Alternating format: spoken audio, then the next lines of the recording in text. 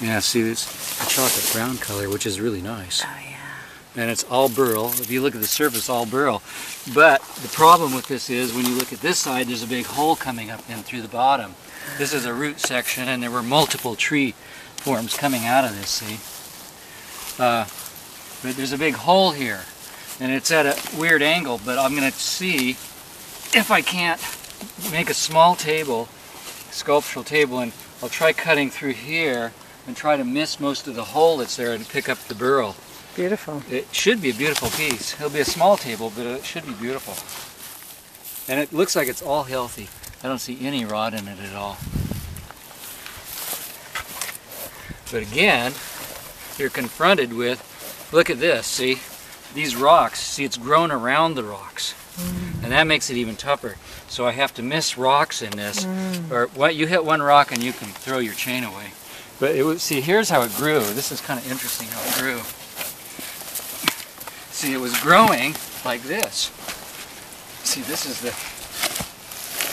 There's how it grew. Oh yeah. See, Yeah. there were, I would say, at least three tree, small tree forms coming up out of this root section.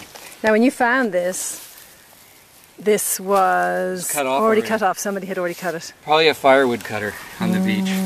A lot of people go down there for firewood, and that's perfect. You just cut off the rounds, and they're already the right length. So yeah, I would like it if it had been this long. Then it would have been a leg, but it wasn't the case. So this is the same piece that we saw when it was full, eh?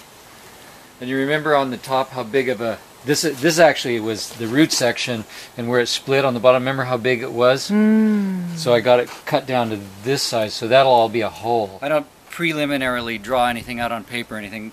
Once I get the platform I'm going to draw on, then I just draw on it. So this will be different levels because it'll be a table. So probably like this might be uh, an inch down from this, and this will be a half inch down from this, and this will probably be the mm-hmm. top la- level, mm-hmm. just to give it some relief and some, you know, sculptural shape. Mm-hmm. But still to make it functional, so there's flat surfaces to set things on. Mm. Wow. So let's see. Here's what I needed to miss. See the rocks that are embedded in it? Look at that. So some of them, it's just totally grown around. Here's another one. See? They're kind of beautiful. Yeah, they're beautiful until you hit it with your chain, Yeah. your chainsaw. But some of them actually will be grown inside, and you just can't see them, so you hit them. So this is the underside of that table we just looked at. Yes. And so this is the part. This was down in the ground. This was buried underneath ground mm. when the tree was growing.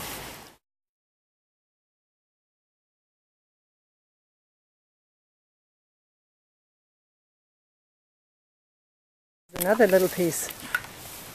This is the one. Remember, you photographed a few shots of it. Where it was like a big. I remember this texture here. Yeah. Yeah. And I had to. Uh, What a shape. Yeah, I had to take two pieces to make it. You see, I here's the join. This was a root section of another tree. Haha, and you can see the diagonal join there. Yeah. Lovely.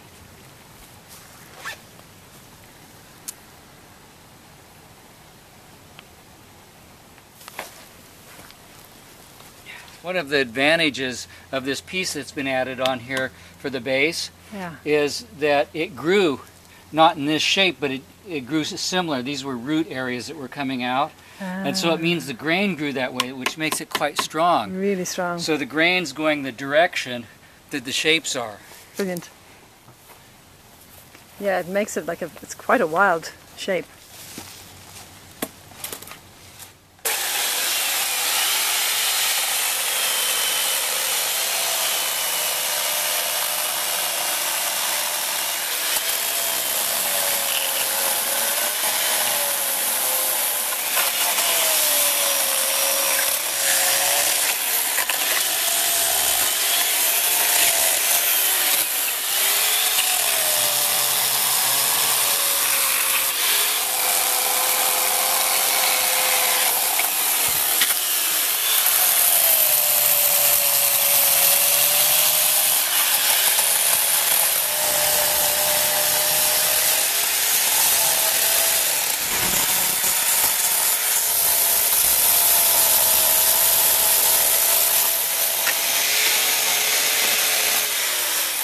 It's amazing how much smoothening you Yeah. get with the with the chainsaw. Oh, it is. I can refine the shape down to an eighth of an inch of Wow. where I want it.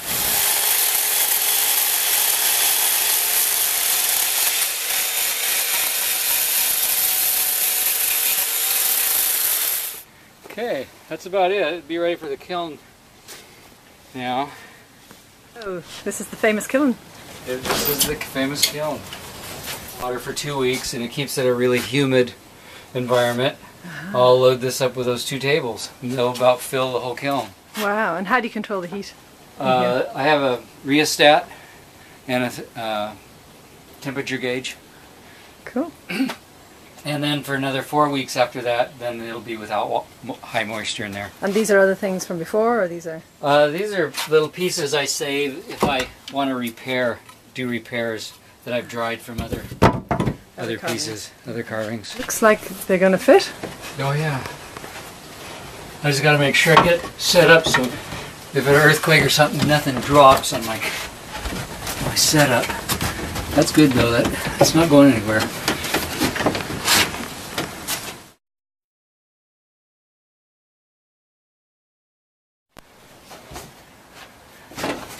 Turned on now. Okay, the kiln is turned on, and I'll put the water in there to keep the moisture high for two weeks.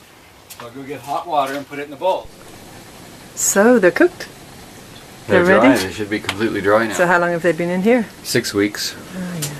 First two weeks with uh, high moisture content so that they don't crack, and then after that, just drawing the rest of the moisture out. The last four weeks, I keep it at about between 120 and 130 degrees.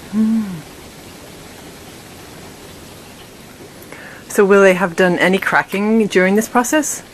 Uh, if there's any cracking that's happened, it's very minimal. Um, primarily, it's uh, just things that are already in the wood, n- not new cracks. So how is it, the table just out of the kiln? Uh, it's warped some. This this originally was a planed surface. The two surfaces met exactly, and it was tight, so it's warped. And I'll have to uh, take that apart and realign it and replane it, get so the two surfaces are uh, perfectly matched. So that's because it's in the drying process. Yeah. It's, it's In the drying process, it warps and shrinks. The main thing is to keep it from cracking while it's doing those things, and it doesn't seem to have cracked anywhere. It still has the same strength that it had. This whole area here has not cracked, so it'll it'll be fine. I just it'll just take some work to get it back to the yeah. fitting perfectly together. There it is. Lovely. Yeah. Ready for the next stage.